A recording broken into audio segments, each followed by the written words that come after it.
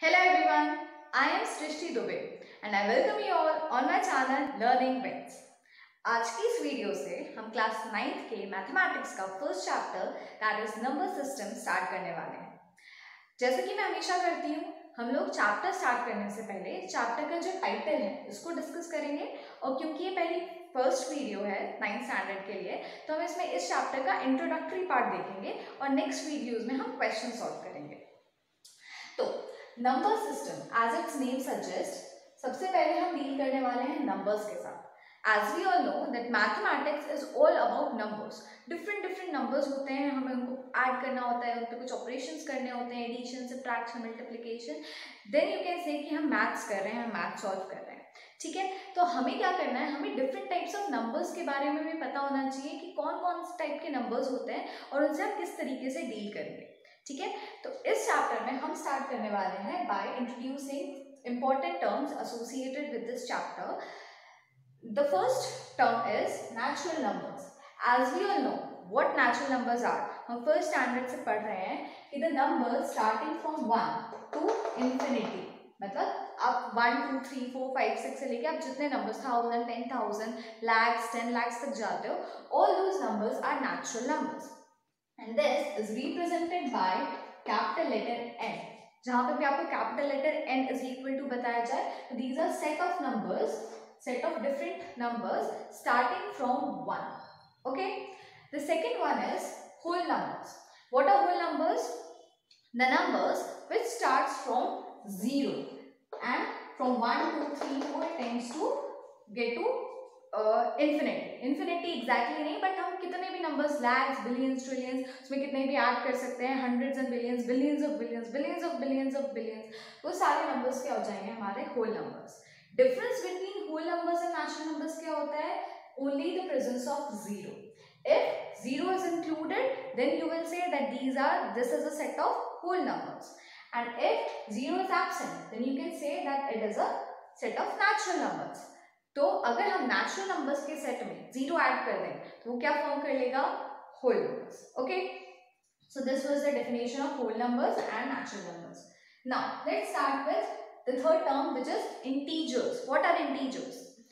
All the positive numbers, zero and the negative of these natural numbers जितने भी हमारे पास नेचुरल नंबर है वन से लेकर इन्फिनिटी तक, अगर हम उनका नेगेटिव साइन के साथ इंक्लूड कर लें तो दोज आर इंटीजर्स मतलब positive terms negative terms and including zero all these numbers are considered to be integers okay confusion नहीं होगा natural number starting from one whole number starting from zero all the positive numbers ठीक है? Integers all the positive numbers starting with zero including the negative of those positive numbers अगर हम positive के आगे negative negative sign लगा देंगे तो those are also integers so integers is a combination of positive zero and negative numbers okay now let's come to the important terms related to this chapter ये जो था whole numbers integers ये हम अपने previous chapters में इनको पढ़ चुके हैं इस चैप्टर में नाइन्थ स्टैंडर्ड के पर्सपेक्टिव से जो इंपॉर्टेंट नंबर्स हैं, वो है हमारे rational numbers and irrational numbers तो रैशनल और इरेशनल को जानने के लिए हमें कुछ छोटी छोटी चीज़ों का पता होना ज़रूरी है।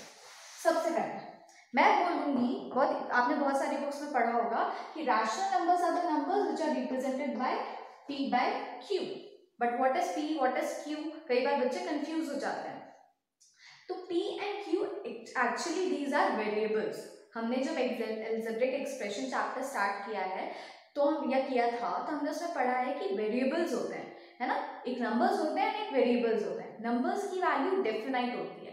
That means if I am saying seven seven can't be eight and seven can't be six seven is seven seven की वैल्यू फिक्स्ड है। बट अगर मुझे कोई नंबर के बारे में इंफॉर्मेशन नहीं है, मैंने कहा कि मैं मार्केट गई थी और मैं इतने रुपए की चॉकलेट लेके आ गई। ठीक है? अब मुझे उसका रुपए नहीं पता कि वो रुपए कितने हैं। तो मैं क्या करूँगी? अगर if a quantity is unknown to me तो मैं उसको एक वेरिएबल से रिप्रेजेंट करती हूँ। वो वेरिएबल्स होते हैं हमारे इंग्लिश अल्फाबेट्स ठीक है? इंग्लिश में हमारे ए टू जेड जितने अल्फाबेट्स होते हैं, उसमें से आप कोई भी एक अल्फ़ाबेट से उसे रिप्रेजेंट कर दो। मान लो मैंने ले लिया एम एम रुपीज़ की चॉकलेट में लेके आई ठीक है? M is a variable. अब m की वैल्यू कुछ भी हो सकती है. It can be 50 it can be 100 it can be zero ठीक है? जबकि ज़ीरो की वैल्यू ज़ीरो ही रहेगी वन की वैल्यू वन ही रहेगी. आप वन को इवन माइनस वन भी नहीं लिख सकते. दो आर डिफरेंट नंबर्स है ना? तो नंबर्स की वैल्यू फिक्स्ड होती है बट वेरिएबल्स वेरिएबल्स का मतलब ये होता है values which can vary which can change तो variables the value of variables can be changed according to the situation given तो यहाँ पे पी एंड क्यू जो है ना, ये रिप्रेजेंट करें वेरिएबल्स इसमें आप कोई भी नंबर इंक्लूड कर सकते हो okay P by Q are variables in which any value can can be shown है ओके ना अब राशनल नंबर्स मैंने बताया क्या होते हैं? The numbers which are in the form of P by Q but this value of Q should not be equal to zero ठीक है? If q becomes zero, then this value becomes infinity, which is not a number. तो हम क्या करते हैं? हमें हर वो number जिसमें q जो है, कुछ भी हो सकता है. Can be negative number it can be positive number any integer it can be but except zero p can be zero ठीक है? आप ज़ीरो बाय वन लिख सकते हो. तो ज़ीरो अगर मैं इसको लिख रही हूँ कि ज़ीरो बाय वन तो one which is equal to zero तो zero is also rational number but अगर आप p की वैल्यू कुछ भी लिख सकते हो बट q की value cannot be zero. Then those all those numbers are known as rational numbers. Okay. Second one is irrational numbers. ठीक है अब इसका जो होगा वो उल्टा हो जाएगा irrational numbers क्या होते हैं हर वो numbers जो कि आप p by q के फॉर्म में एक्सप्रेस नहीं कर सकते ठीक है या आप उनके डेसिमल एक्सप्रेशन के हिसाब से अगर आप उसे एक्सप्रेस करने जाओगे तो वो non terminating and non recurring चलो इसको इसको एक्सप्लेन करने से पहले अपन ये देख लेते हैं कि जो रैशनल नंबर्स होते हैं वो बेसिकली दो टाइप के होते हैं। आप कैसे डिफाइन कर सकते हो कि कौन सा एक रैशनल नंबर है या नहीं है है ना? इसके लिए आपको थोड़ी सी मेहनत करनी पड़ेगी। क्या मेहनत करोगे? रैशनल नंबर्स दो तरीके के होते हैं। एक होता है टर्मिनेटिंग रैशनल नंबर और एक होता है नॉन टर्मिनेटिंग टर्मिनेट का मतलब क्या होता है? टूट जाना विच इज़ ब्रेक गए दैट इज़ टर्मिनेटेड मतलब you are terminated from your post आपकी पोस्ट से आपको निकाला जाता है। अब आप उस पोस्ट पे कंटिन्यू काम नहीं कर सकते।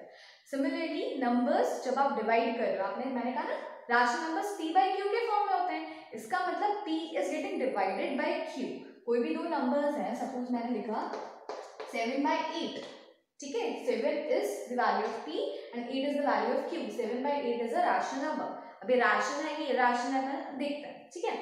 सेवन बाई एट है इसका क्या मतलब हुआ कि seven is getting divided by eight अब अगर मैं इसको डिवाइड करूँगी तो व्हाट आई विल गेट अगर मैं इसे डिवाइड करती हूँ तो I will get eight seven से कैंसिल नहीं हो सकता definitely will put a zero over here then you have to put a decimal then we all know that eight eight eights are sixty four है ना? Sixty four is lesser than seventy so you can write here as eight eights are sixty four seventy minus sixty four it is six six के आप के आप एक और zero put करोगे? 60 is not present in the table of 8. So what you will write? Uh, 8 sevens are 56. So you will write 8 sevens are 56. Then uh, 60 minus 56 is 4. You will again put a 0 uh, behind the 4. Then what you will get? 40. 8 fives are 40. You, we all know that. Then the value of 7 divided by 8 we get is 0 0.875 and the remainder we get is 0. If after dividing numerator by denominator, if we are getting a remainder which is equal to 0, then we will say that the rational number is terminating. Terminate हो गया, टूट गया, zero आ गया, खत्म हो गया. अब उसके आगे आप divide continue नहीं कर सकते. ठीक है तो हम उसे बोलेंगे कि वो एक टर्मिनेटिंग वैल्यू है बट अगर मैंने कुछ ऐसा नंबर लिया जैसे मैंने सपोज़ किया मैंने लिया टू बाई थ्री ठीक है इसको अगर मैं डिवाइड करूँगी तो what is going to happen अब इसे डिवाइड करोगे तो again you can not divide 2 uh, 3 uh, 2 by 3 because 2 is lesser than 3 then you will put a 0 over here then you have to write a decimal then we all know that 3 uh, 8s are 16 no what is there 3 is 24 uh, 20 3 6 are 18 है ना तो you will write here 6 then 20 minus 6 is again 2 again you you have to write 6 again 6 again 6 it is like continuation में extend hota जा रहा है it is not getting uh, terminated you will you are not getting a remainder which is equal to 0 so in the cases when you get a remainder equal to 0 then you can say that it is a terminating rational number but if in this case if you are not getting zero at the remainder uh, in the place of remainder, then what you can say that this is non-terminating. It is not getting terminated. Again and again you have to divide it. You have to divide it continuously. So this is a non-terminating value ठीक है? Now what is recurring? Recurring means होता है when a simple number is getting repeated. है ना? जैसे अगर मैंने दो नंबर्स को डिवाइड किया and I am getting zero point zero one one zero one zero two three one zero one in this case you can see that the number are not getting repeated है ना you are getting different different numbers at each instance so this is a non recurring number which is not getting repeated terminating value में भी देखो अगर terminating value ऐसी आ रही है 0.11 terminate हो गया this is recurring because the number is getting repeated. Terminating values can also be recurring. Non-terminating values can also be recurring. In this case, you can see this is a non-terminating value, and you can see over here is six is getting repeated again and again. ना 0.6666 so this is a recurring value. A number is getting repeated. But in this case a number is not getting repeated. And this is non-terminating. It is getting continuous. We are not getting a remainder which is equal to 0 So in this case, the number is getting repeat is number the number is not getting repeated. So this is non-recurring numbers, and then in the cases where the number repeats itself, these are recurring numbers. Okay. I hope you will get what are what are terminating values, what are non-terminating values, recurring values, non-recurring values. Recurring values, rational numbers अगर है terminating, non-terminating है तो they can be recurring. ठीक है? If your number is irrational, then what will happen? How you going to identify whether your number given is a rational number or a irrational number? So rational number के मैंने properties बताई क्या होगा non terminating भी हो सकता है terminating भी हो सकता है but it should be recurring if a non terminating value is recurring then you can say it is a rational number this is a rational number a number is getting repeated and it is non terminating it is a rational number but in the cases where you divide something you get you don't get remainder equal to 0 and the numbers which you are getting are not recurring they are not getting repeated you are getting these kind of values then you can say that your given number is irrational okay so irrational के लिए definition आपको लिखनी हो तो what you will write the number which cannot be represented in the form of p by q and those are non-terminating and non-recurring numbers then the numbers you can say are irrational numbers ठीक है? इसमें आप example सोच सकते हैं। Root two root two की value आपको पता है क्या होती है? One point four one four इसके आगे बहुत सारे नंबर्स होते हैं। ठीक है? तो इसका मतलब क्या? एक नंबर रिपीट नहीं हो रहा है। It is not like four one four one four one four one ऐसा नहीं होता है। Different numbers you will get and this is non terminating non terminating non recurring this value is a irrational number ठीक है? अगर terminating value मिल रही है तो रैशनल नंबर है। तो रैशनल और इरेशनल के बीच में आपको डिफरेंस क्लियर होना बहुत ज़रूरी है, क्योंकि अगर ये समझ में नहीं आया तो आप आगे के चैप्टर के क्वेश्चंस बिल्कुल भी नहीं कर पाओगे। तो आई होप आप लोगों को रैशनल और इरेशनल के बीच का डिफरेंस क्लियर हो गया। अब हम आते हैं रियल नंबर्स पे, ठीक है? हमने दो नंबर्स पढ़े होंगे आपने, एक होता है रियल और एक होता है imaginary real numbers which exist ठीक है, ऐसे नंबर्स जो होते हैं, जिनका आप नंबर लाइन पे रिप्रेजेंट कर सकते हो those numbers are real numbers ठीक है? तो आज तक आपने अपनी लाइफ में जितने भी नंबर्स पढ़े हैं ना they all are real numbers imaginary numbers क्या होते हैं? इमेजिनरी इमेजिनेशन ऐसी चीज़ जो एक्चुअली में एग्जिस्ट नहीं कर सकती, आपने सिर्फ़ सोचा है, ठीक है? विच इज़ इमेजिनेशन आपने ऐसा सोच लिया, काश ऐसा होता, ये होता, वो होता, जो एक्चुअली में एग्जिस्ट नहीं कर सकता, वो होते हैं हमारे इमेजिनरी नंबर्स ठीक है? आपने इमेजिनरी नंबर्स के बारे में नहीं पढ़ा होगा अभी तक, लेकिन मैं फिर भी आपको एग्ज़ाम्पल दे देती हूँ। जैसे हमें पता है कि ऑल द स्क्वेयर्स आपने अगर स्क्वायर और स्क्वायर रूट वाला चैप्टर पढ़ा होगा तो आपने देखा होगा कि all the squares of a number are always positive है ना? अगर मैं टू इंटू टू करती हूँ I will get four minus two into minus two करती हूँ then also I will get four square of 2 is positive square of 2 square of minus 2 is also a positive number ठीक है but in cases when I will get the square of a number which is negative if ठीक है अगर मुझे ऐसा कोई number है suppose मैंने लिखा 5 i और मुझे इसका स्क्वायर निकालना है इसका स्क्वायर मुझे मिल रहा है minus twenty five I square मान इस तरीके का मिल रहा है this is a imaginary number it does not exist क्योंकि आपने हमेशा पढ़ा है कि माइनस माइनस प्लस हो जाता है। स्क्वायर हमेशा पॉजिटिव देता है। लेकिन यहाँ पे आप देख रहे हो कि आपने स्क्वायर लिया है एक नंबर का बट वो स्क्वायर जो आ रहा है नेगेटिव आ रहा है। तो फिर ये क्या हो गया? ये एग्जिस्ट नहीं करता। आप इसको नंबर लाइन में भी आप इसे एक्सप्रेस नहीं कर पाओगे। तो ये हमारा क्या हो गया? इमेजिनरी नंबर ये जो आई लिख रहा है ना, इसको अपन यूज़ करते हैं फॉर इमेजिनेशन पर्पस ठीक है? आई स्टैंड फॉर इमेजिनेशन तो ये आपका इमेजिनरी नंबर हो गया जो एक्चुअल में एग्जिस्ट नहीं कर सकता all those numbers which can be represented on a number line are known as real numbers and the numbers which cannot be represented on a number line are imaginary numbers okay imaginary numbers आपके syllabus में नहीं है just for our knowledge purpose I told you this now rational and irrational both numbers are real numbers ठीक है? क्योंकि आप इनको number line पे रिप्रेजेंट कर सकते हो. You can represent root two on a number line you can represent this value on a number line you can represent all these values on number line ठीक है?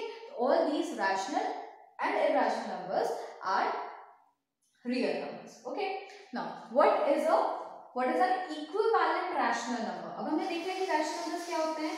The numbers which are in the form of p by q. है ना? Numerator होगा एक denominator होगा denominator की value zero नहीं होनी चाहिए तो हम उसे बोलेंगे कि ये हमारा एक रैशनल नंबर इक्विवेलेंट क्या होगा? इक्विवेलेंट मतलब इक्वल होना चाहिए।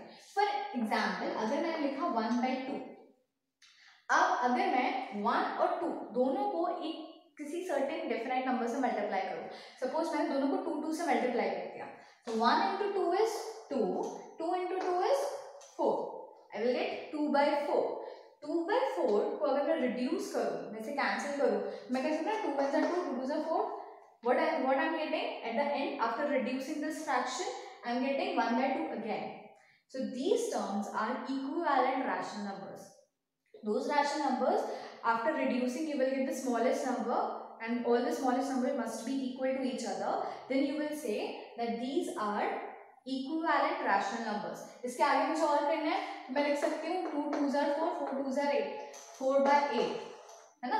Four one are four four two are eight one by two again मैंने लिखा sixteen by thirty two sixteen one are sixteen sixteen two are thirty two one by two again you you are getting this मतलब all these numbers are equivalent numbers ठीक है?